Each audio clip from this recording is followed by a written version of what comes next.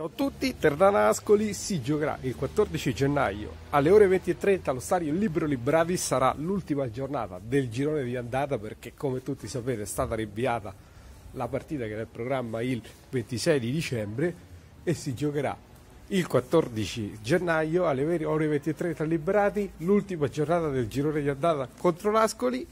mentre la partita con il Brescia si giocherà il 22 gennaio alle 14. Questo il, le date diciamo, dei recuperi delle partite contro Ascoli e Brescia. E per quanto riguarda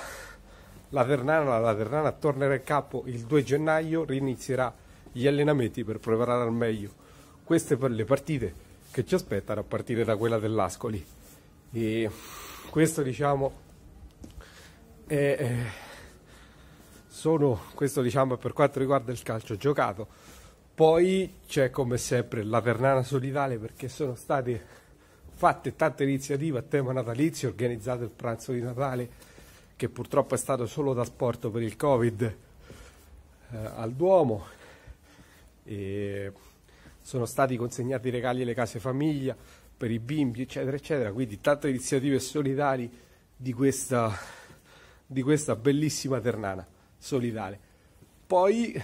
per quanto riguarda la Ternana più in generale, Diego Peralta eh, è un giocatore che potrebbe essere in uscita, sono notizie e voci di calciomercato che iniziano a circolare e Peralta sarebbe un giocatore finito nel mirino del Foggia, quindi c'è l'interesse del Foggia per Diego Peralta, ma ovviamente sono decisioni che vengono prese in serie di mercato che se non mi ricordo male dovrebbe aprire tra pochissimo, il 29 dicembre. E poi la Ternana un derby, quella, quello primaverile, perché la Ternana primavera comunque ha giocato, ha giocato contro il Perugia e ha vinto per 2-1. Quindi la Ternana primavera ha vinto il derby e la Ternana ha vinto comunque due derby, quello primaverile e quello di calcio femminile contro il Perugia e pareggiato eh, quello, quello di prima squadra, quello della nostra Ternana con l'episodio dubbio nel finale. Per il resto non ci resta altro che aspettare il 14 gennaio alle ore 20.30, qua da Liberati